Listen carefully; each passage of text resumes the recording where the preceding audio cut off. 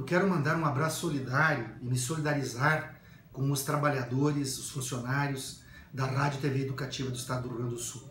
O pacotaço que o governador José Hélio Sartori encaminhou, um pacote que visa uh, desmantelar vários órgãos que prestam serviços públicos à população, que privatiza empresas estatais, inclusive que são lucrativas, dentre tantas medidas, uma delas é a extinção da nossa Rádio TV Educativa do Rio Grande do Sul.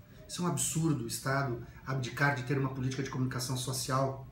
Está acontecendo também aqui a nível nacional, é importante dizer que o governo golpista do Temer está fragilizando a empresa brasileira de comunicações, inclusive retirando, como foi votado essa semana aqui, retirando a participação da sociedade no, no, no conselho consultivo, no conselho curador da empresa brasileira de comunicações.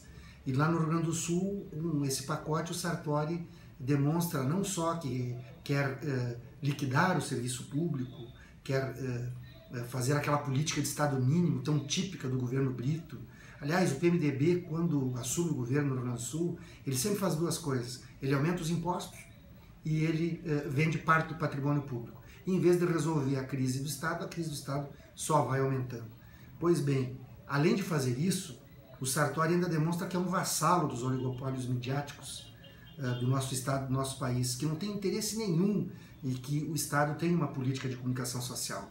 Eu acho muito gozado esses governantes que se pretendem modernistas uh, dizerem que o Brasil tem que seguir o exemplo dos grandes países. Pois bem, se seguissem o exemplo da Inglaterra, nós fortaleceríamos uma TV pública como a BBC, né, que é uma TV pública, não um órgão oficial do governo, mas uma TV pública com uma, uma programação plural, com uma programação diversificada.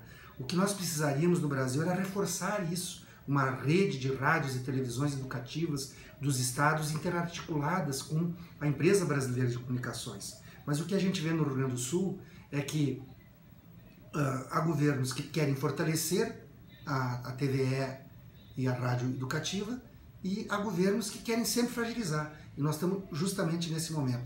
Eu espero que a Assembleia Legislativa não permita esse absurdo que é a extinção da Rádio TV Educativa do Rio Grande do Sul. Vamos à luta, meus queridos trabalhadores e trabalhadoras da TVE.